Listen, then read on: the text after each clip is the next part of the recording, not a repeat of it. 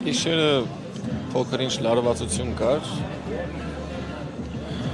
Չգիտեմ ինչ պատճառաբանություններով, հիմնավորումներով, որ ճանապարհը փակված է իբր ազգային ժողովի բնականոն ընթացքին գործունեության մենք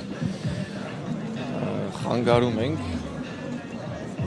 բայց գիշերվա ժամին եթե падգամավորները կարող էին գնալ աշխատանքի Կիրակի օրով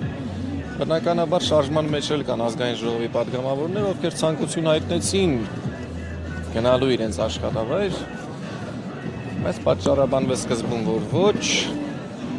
իհարկե հետո ընդդումներ լինելով, այո, կարողացան անցնել։ Մի տեսակ արհեստական բաներ շատ են կատարվում։ Շատ են ասում, որ մենք ենք հրահրում, բայց ամեն ինչ ցույց է տալիս, որ իհարկե սրբազան հոր հորդորներն էլ կոչերն էլ եւ խոսքն էլ այն է, որ մեր կողմից որևէ սադրանք չկա։ Հիմա չգիտեմ ինչի համար են այս վահանները, ամեն դեպս ում դեմ են։ Կարող եք տեսնել, որ ժողովուրդ ովքեր որ ցույցին մասնակցում են, հանգիստ նստած են որևէ բանով չեն խանգարում կամ չեն հրահրում։ Ինչևէ, ամեն ինչ իր տեղը կընկնի, որտեղ աստիճանաբար ինչքան ռոպեներ ավելանում են, այնքան ավելի པարզ է երևում, թե ով է սադրում եւ ով ինչի համար է այստեղ։ Սրբազանը ասաց, որ պետք է ոստիկանական այս պատնեշը կարողանան հաղթարել։ Դուք տեսնում եք, քանի շարքով են բերում ոստիկաններ կանգնեցնում հնարավոր կլինի կամ ինչ մեթոդով հնարավոր կլինի այդ ճեղքել այդ պատը անցնել եւ նպատակին հասնել։ Տեսեք, սրբազան հոր նպատակը ոչ թե ճեղքել անցնելն է։ Չէ, ես պատկերավոր ասացի։ Պատկերավոր, շատ բարի։ Ամենայն դեպս գիշերը ուրիշ պատկեր էր, թե քանի շարք էին եւ իրենց ցենց պաշտպանիչ հանդերձանքով եւ իրենց հետևում արդեն գույնզգույն բերետներ։ Իսկ հիմա միայն տղաներն են, որ հերթափոխով տենց վահաններով որ կանգնում են ու առանց առանց պաշտպանիչ ինչ որ հանդերձանք է։ Վախանցել է, վախենում էին միջև, հիմա անցել է վախ։ Իհարկե կան վախեցողներ, ովքեր որ հրահրում են, բայց այս տղաներին ինչ ասես, իրենք իրենք էլ գիշերը հոգնած կանգնում էին, երևում էր էլի որ իրենք էլ ուզում են քնեն, իրենք էլ կողմ չեն այս ամեն ինչին։ Ինչևէ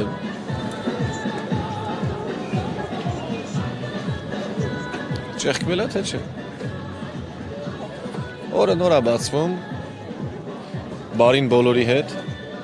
եւ նրանց հետ ովքեր որ մասնակցում են եւ նրանց հետ ովքեր որ ի վիճակի չեն մասնակցելու եւ նրանց հետ ովքեր որ դեմ են կանգնում այս գեղեցիկ եւ արդարացի ցույցերին երեք քաղաքական պատգամավորներից մեկը ասում է, որ անդորը խախտում է այստեղը բնակչության, տարեցներ կան, երեխաներ կան, աղմուկը խանգարում։ Որ աղմուկի մասին է խոսքը։ Երաժշտությունը համապատասխան, երբ որ Իմիջայլոս պատիվ էր գնդապետին, ինքը մտեցավ շատ քաղաքավարի ասաց, որ ժամը արդեն անց է, որ երաժշտությունը չի կարելի արդեն բարձրացային եւ սրբազան հոր հենց հորդորով երաշտությունը անջատվել էր բայց թե ով էր վահաններով խփում, տենց աղմուկ անում,